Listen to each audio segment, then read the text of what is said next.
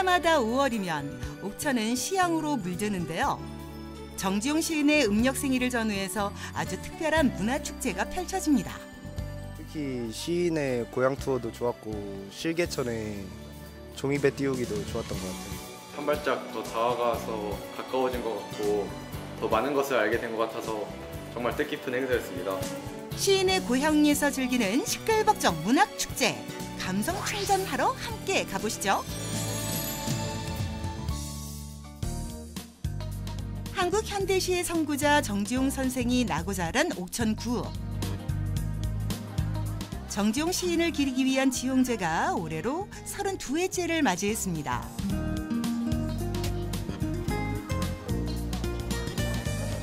아, 둘이 타. 출발하겠습니다. 어린아이야 아무것도 모르는 새빨간 기관차처럼 달려가자던 정지용 시인. 그의 아름다운 시에서 기획했다는 골목길 투어입니다. 기차 타니까 마을을 볼 수 있어서 좋았고 그리고 재밌었어요. 어, 정지용 시인의 새빨간 기관차라는 시가 있는데 저희가 이런 새빨간 기관차를 타고 마- 이렇게 돌아다니고 구경하다 보니까 색다르고 기분이 좋았습니다. 느릿느릿 달려도 마을 구경하랴 사람 구경하랴 모두들 지루할 틈이 없습니다. 이번 지용제의 특징은 이구 주민들이 직접 체험하고 체험 행사를 어, 관광객들과 관객들과 같이 함께 꾸며가는 어, 그런 축제로 변모하고 있습니다. 구배 골목길을 돌고 돌아 정지용 시인의 생가로 들어가 봅니다.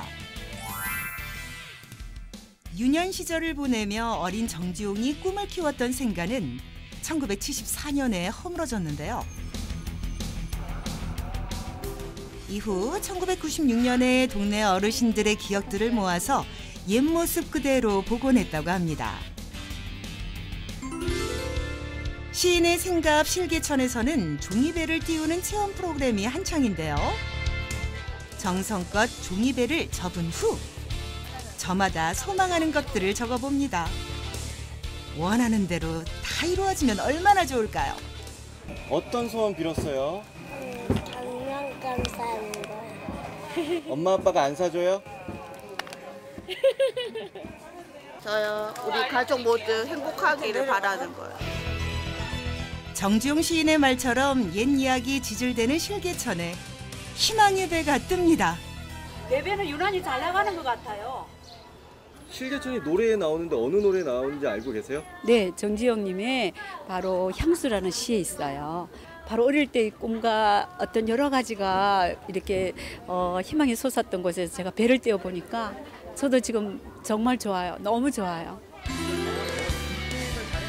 생가옆 향수마당에선 지용의 시를 특별하게 즐길 수 있는 프로그램도 진행되고 있습니다. 어릴 적 운동회에서 해봤던 박 터트리기. 추억 속으로 들어가 아이들과 함께 신나게 오재미를 던져보는데요. 박이 열리면 아름다운 시어들이 나오고 그 시어들을 순서대로 맞추다 보면 정지용 시인의 시를 만날 수 있습니다. 예전에 할 때는 그런 걸 몰랐는데 지금 이제 나이가 먹고 이걸 하다 보니까 더 옛날 생각이 나고 박도 터트리고 그 박 속에서 나오는 시어를 찾아서 이렇게 같이 게임들 하고 하니까 어, 훨씬 더 좋았던 것 같아요. 이쯤에서 정지용 시인의 시 세계를 알 수 있는 문학관을 잠시 둘러보기로 하죠. 이 바다에 가는 시가 전부 찾아보면 지난 1988년 월북 문인에 대한 해금 조치와 함께 우리 곁으로 돌아온 정지용 시인. 현대 시단의 중심이었던 시인은 지금도 한국 문단의 가장 높은 곳에 있습니다. 옛날 고어를 많이 쓰셨고 어, 우리 충청도 방언을 많이 쓰셨어요. 어, 당신의 감정을 절대된 감정으로 어, 아름다운 시어를 에, 구사하려고 구사하는 그런 시인이었죠. 1920년대 초 외래 문학 사조가 들어오는 혼란 속에서도 정지용 시인은 우리말의 감각적인 아름다움을 개척했다는 평가를 받고 있습니다. 정지용 시인을 기르는 문학축제 지용제는 2년 연속 전국 최우수 축제로 선정됐는데요. 다양한 프로그램들로 체험객들에게 오감 만족, 명품 축제를 누리게 해줍니다. 시만 읽고 재미없을 줄 알았는데 제가 좋아하는 낚시도 하고 먹거리도 많고 다음에 또 오고 싶어요. 이쪽은 처음 나와본 건데 되게 볼거리도 많고 유익한 것 같아요. 애들한테 되게 도움도 되고 이런 생각 와서 볼 수도 있고 친구랑 같이 놀 수 있어서 좋았던 것 같아요. 이곳은 정지용 문학상 시상식장. 시끌먹끌한 축제가 되고 있습니다. 여러분과 함께 마지막까지 열심히 준비를 하겠습니다. 그래서 올해 수상자 민, 민태준 시인 단상으로 모시겠습니다. 시인 정지용의 문학 정신을 기리고 문학적 업적을 기념하기 위해 제정한 정지용 문학상. 올해 영광의 수상자는 문태준 시인입니다. 시의 순이란 씨앗을 심으면서 살고자 희망합니다. 네, 이번에 정지용 문학상을 따셨는데 기분이 어떠신죠? 아, 정재훈 시인은 우리 시단의 큰 산맥이라고 생각합니다. 그분의 에, 어, 큰 이름으로 어, 받는 상이라서 너무 기쁘고 그리고 또 어, 시 짓는 일에 대해서 시 짓고 사는 일에 대해서 어, 엄중하게 엄숙하게 생각하면서 좋은 시를 쓰도록 하겠습니다. 역대 정지용 문학 상 수상자들의 수상시 낭송 무대가 이어지는데요. 이름만으로도 빛나는 시인들의 육성으로 듣는 시, 지용제 무대여서 가능한 보석 같은 시간입니다.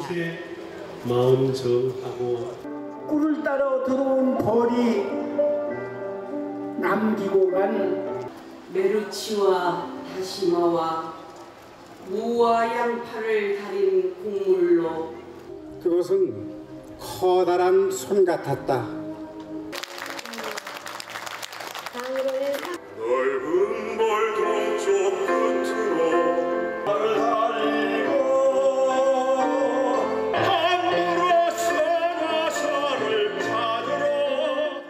후배 시인들에겐 정지용 문학상 수상자가 되는 것이 더없이 큰 영광이라고 합니다. 정지용 시인의 시를 노랫말로 쓴 향수. 고향을 그리워하는 시인의 간절함이 관객들의 마음을 울립니다. 시인의 고향에도 어느새 황혼이 깃들고 축하 사절단의 공연이 이어지는데요. 정지용 시인의 시를 낭송하는 무대, 아름다운 시어들의 향연이 펼쳐집니다. 유리에 차고 슬픈 것이